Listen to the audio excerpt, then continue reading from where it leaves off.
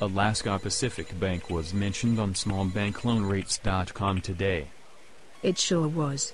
They mentioned some great credit card offers from Visa and MasterCard. I saw that. I have been doing research on credit cards lately and it seems that a low interest rate means few rewards. To get rewards the interest rate is often higher. I have seen that as well. Customers have to decide if they want rewards or low rates. I would prefer a low rate myself. Me too.